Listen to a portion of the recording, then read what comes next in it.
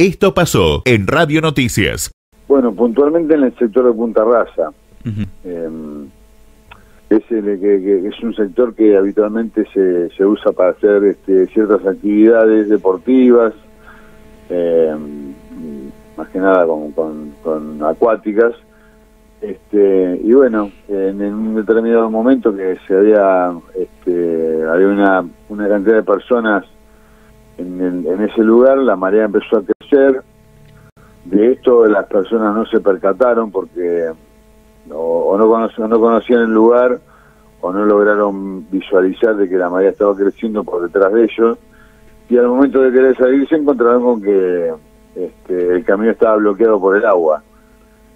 Así que bueno, ahí las, este, las personas rápidamente se comunicaron con el 911, el 911 nos pasa la novedad a nosotros, logramos, perdón, logramos establecer comunicación con las personas que estaban ahí en el lugar porque ya, ya, ya estaba entrada la noche este, y es un lugar de muy difícil acceso eh, de noche se torna peligroso el, el ingreso por el, el tipo de topografía que tiene el lugar.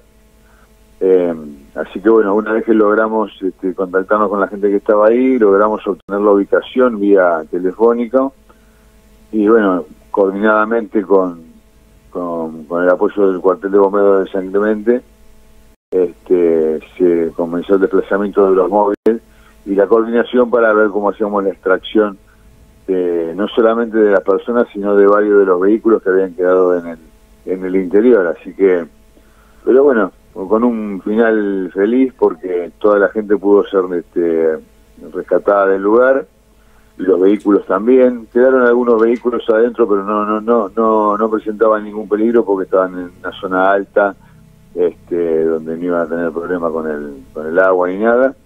Este, así que bueno, y luego fueron este, devueltos a su domicilio. ¿no? Si no recuerdo mal, habrán sido alrededor de las 7 de la tarde.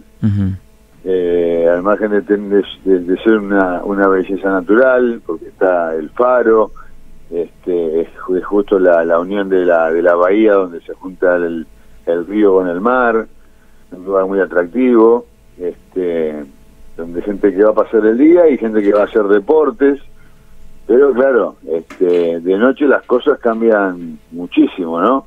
En lo que tiene que ver con, el, con esos sectores y principalmente con la playa.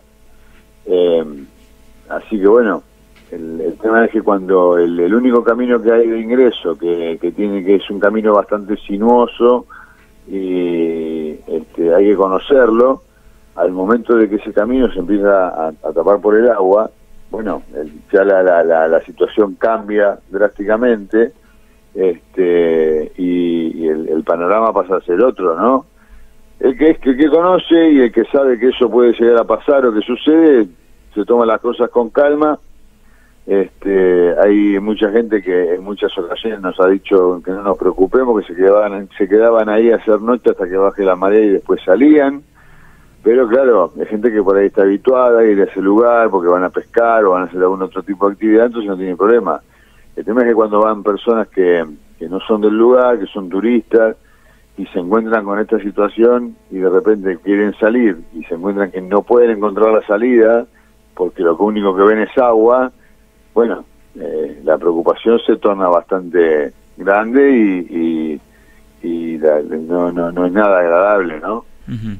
Bien, bueno, afortunadamente entonces eh, toda la operación salió bien y estas personas están sanas y salvas. ¿Hubo pérdidas de eh, materiales, de vehículos? No.